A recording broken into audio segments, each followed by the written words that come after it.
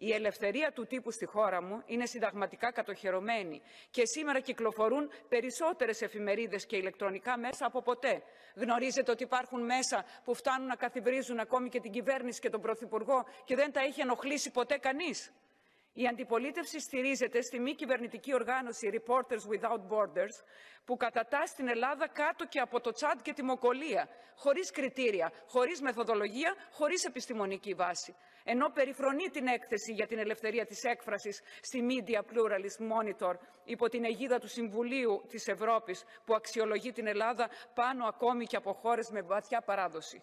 Αγαπητοί συνάδελφοι, η Ελλάδα είναι μια δημοκρατική χώρα και το ξέρετε καλά με την υιοθέτηση αυθαίρετων ισχυρισμών και με αθέμετες παρεμβάσεις, ιδίως κατά την προεκλογική περίοδο, κάποιοι επιδιώκουν να πλήξουν την ελληνική κυβέρνηση, στηρίζοντας την προεκλογική καμπάνια της αντιπολίτευσης.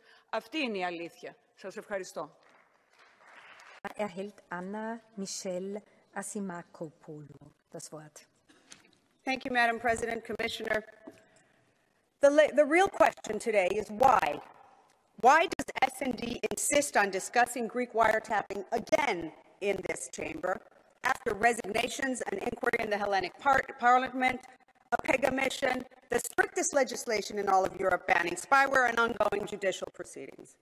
Why are we discussing the rule of law in Greece when the Economist Intelligent Unit Democracy Index shows one of the highest rankings increase for Greece as opposed to a clearly inaccurate index which ranks Greece below Burkina Faso?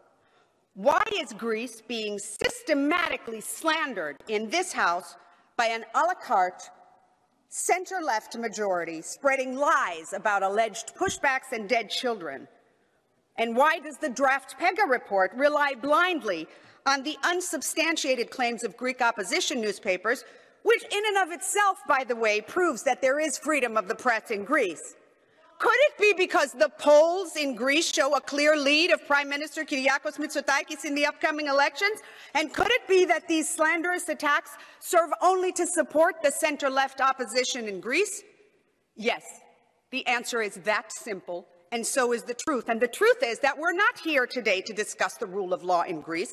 We are here because S&D and the left wish to influence the outcome of the Greek elections. And that, dear colleagues, is for the people of Greece to decide. And I'll say it in Greek. Η Ελλάδα είναι δημοκρατία και οι Έλληνες και οι Ελληνίδες πολίτες θα αποφασίσουν ποιος θα την κυβερνήσει. Ευχαριστώ.